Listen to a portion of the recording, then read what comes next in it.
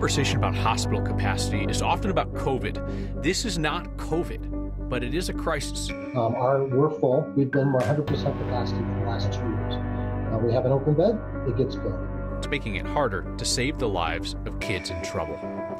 He's a professor in Colorado who tried to use the Constitution to overturn American democracy. Now he's using it to avoid answering questions about it. A school determined to prove that language learning can go both ways at once to see them take ownership of the language uh, has been has been really encouraging. And restoring Colorado's plains using bison and what they do. That's next.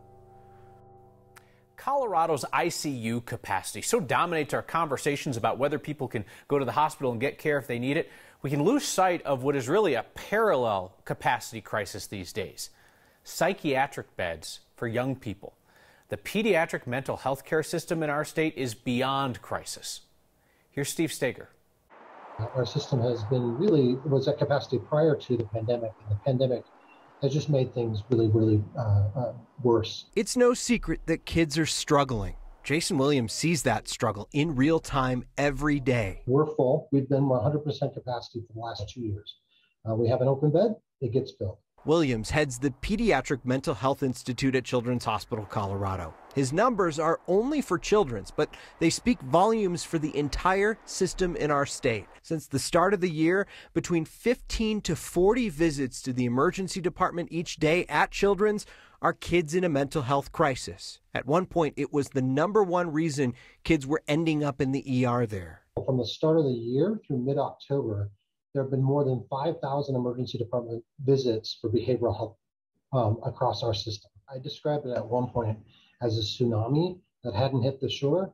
Um, and we were waiting for this this wave. Um, the tsunami has now hit in multiple waves. Their feeling of isolation, loneliness, not belonging, and in Denver, in particular, the suicide rates for young people are twice the nation's average. Dr. Carl Clark leads the Mental Health Center of Denver. He says the pandemic is pushing kids to the brink, but he also says that solutions are on the table. There are a lot of early intervention programs where we work with young people to learn about you know dealing with stress uh, dealing with connections. Children's is actually using the crisis as momentum for change. The curse and the blessing of covid is the need for behavioral health interventions has never been higher but elected officials are seeing this and hearing this, you know, from their constituents. And so there's tremendous will from Democrats and Republicans at the local level, the state level, the federal level. Dr. Clark says a well meaning piece of public policy years ago might have contributed to some of the stress on the system. There was a push to keep kids out of residential psychiatric facilities and keep them in home care. And that meant a lot of residential facilities closed. So, in some cases where a kid might be beyond needing hospital care but still needs some extra care, Kyle, they're staying in the hospital for a bit longer and mm -hmm. they're mm-hmm. taking up those beds that maybe someone just needs to get into the hospital for hospital care actually might need. This is a moment in this country where we're prepared to spend some money and take some time to fix things that don't work right in the healthcare system. What are the chances that can extend to this problem? So Colorado has a task force right now looking at how to spend about $450 million, Children's Hospital pushing to try to take a third of that, which represents about the population of Colorado, about a third of the population are young people, and mm. invest that into systems to try to fix this problem it's been around for a long time. Yeah. The difference this time around is that people are actually willing to talk about it. Sure. And we know the toll that the last two years has taken on kids, especially. Steve, thank you. It's really encouraging that we see our COVID patient count dropping this week. 1,368 patients are currently in Colorado's hospitals with COVID 19. That is down 32 patients from the day before, down 136 from this time last week. The test positivity rate which is our measure of how freely the virus is spreading the community, is being really stubborn. We hope that that would get below 9% this week. It hasn't happened. In fact, our seven day moving average has ticked up a bit. It's now at 9.25%. Former CU professor John Eastman used the United States Constitution for something other than subverting democracy today. The man who outlined the Trump team's plan to overturn the election pleaded the fifth to avoid answering questions about it. Eastman was subpoenaed by the House Select Committee that's investigating the January 6th insurrection. Eastman wrote the memo outlining a six step process on how Vice President Mike Pence and Republicans could throw out the election results and keep President Trump in power.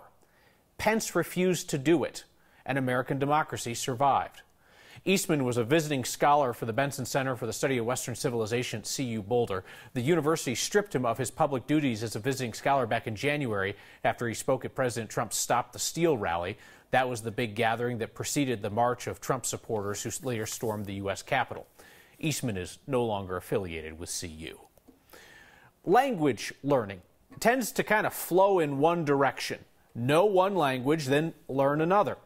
A school in Commerce City is trying an approach that has some cross currents. You've got Spanish speakers learning English alongside English speakers learning Spanish. Our Victoria De Leon takes us inside an approach that's rooted in equity. ¿Están listos? In Classroom 21 at DuPont Elementary, learning goes beyond subjects and explores bilingualism and biculturalism. Having grown up in this community, I wanted to come back to have representation for the students because, you know, I I grew up just like them. This is Fernanda de Luna's first year teaching a two-way dual language class where students learn equally in English and Spanish. Last year I was teaching in the bilingual program, but it was still one way. Um, so it was mostly, it was students who um, spoke mostly Spanish.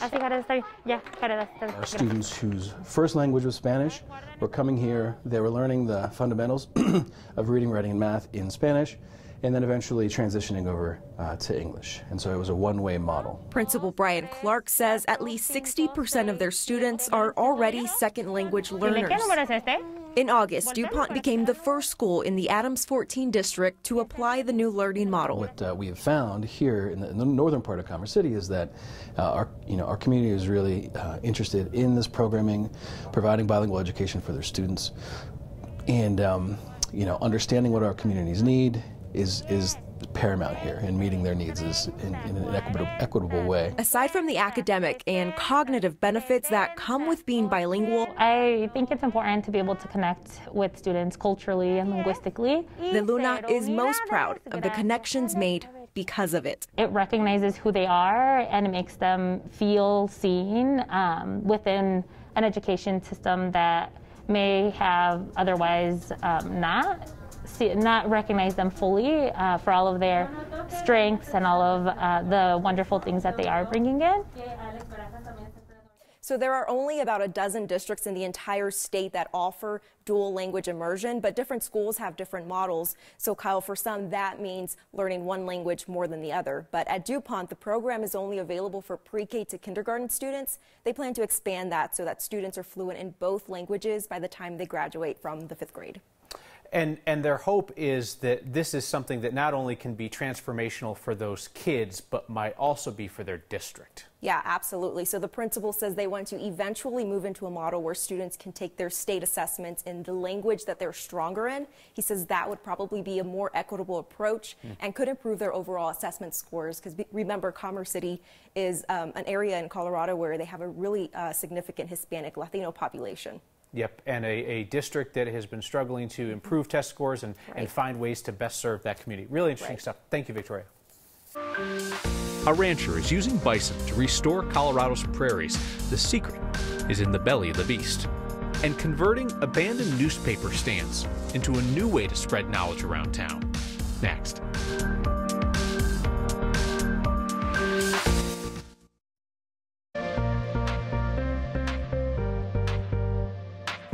Festive Friday night in downtown Denver. However, no snow, no snow on the ground, and really no major snow inside. Another above average kind of day with highs in the lower 60s out at DIA, 50s in northern Colorado and across the eastern plains, and pretty comfortable up into the mountains. Again tonight on HD Doppler 9, tough to find any clouds out there. Temps falling into the 20s and 30s across the state. High pressure is around, so that's going to keep us mild tomorrow, but a cold front on the way will swing in on Sunday. That cools us off slightly and all also helps to kick up the winds. Daytime highs back in business with the 60s for your Saturday afternoon. Haven't put up the holiday decor? Tomorrow, the day to do it. Little cooler, windy on Sunday. Right now, seasonal on Monday. Isolated snow showers coming our way Tuesday with a better chance next Friday. 276 Fridays worth of your good news around here, and I'm not close to tired of it. Our Tom Cole set out today with his camera and our favorite question, putting the headlines of your life on our television station. What's your good news? It's actually really pretty outside today.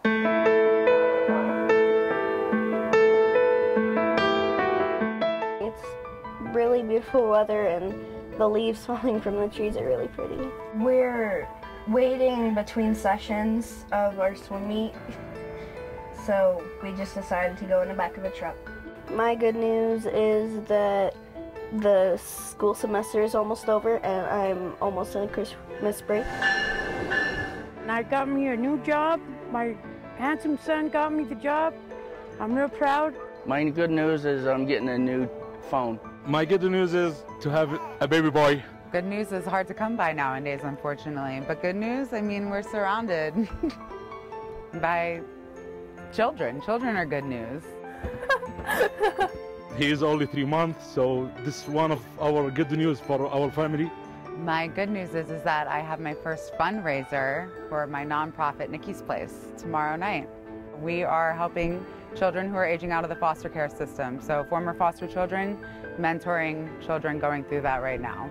My man Simba here, nice pit bull, rare breed, you know. He's a little dysfunctional, but still love him. Good news, good news that's going on right now in my life is I'm a realtor. I just passed my real estate exam, got both my license, so yeah, I'm ready to get into the real estate world and make some real money. Am I talking to like a, an athlete going to the Olympics or Uh, yes, yes, yes, you are indeed actually. Running wise, uh, after I get back from my injury, just go out there, perform to the best of my ability. It's like the best icebreaker question of all time. What's your good news? And you get all these fascinating insights into people's lives. Our thanks to photojournalist Tom Cole for that. Empty newspaper stands of some once proud newspapers are kind of a sad symbol of how journalism has changed. Did make us smile, though, to see how some of those stands are being repurposed in Westminster. Nikki Beefel has been converting old abandoned news racks at RTD stops into those little free libraries. You know those things. She uses light rail to commute, and she noticed that their old newspaper boxes were empty and unused. Thought they could make pretty good bookshelves. So she put in little free libraries at newsstands at stops at Westminster, the US 36 and Sheridan Park and Ride, and at three other RTD stops around Adams County. Each one of the little free libraries can hold hundreds of books. I, I'm a fine artist, and anytime I can take that moment to make the world more beautiful, I will do that. The bus stations and the train stations are beautiful on their own. RTD has an excellent art budget and, and finds wonderful artists to do murals and sculptures at their stations. And this was just a part that hadn't been touched yet. How about that? Libraries is art. The goal is to make those little free libraries permanent. What they need now is for people who pass them to put some books inside. Good ranching and, and farming requires you to really look down and look down at the ground and see what are the grasses doing. Looking down also keeps you from stepping in bison pies. Those two are part of the solution to refresh Colorado's soil. That's next.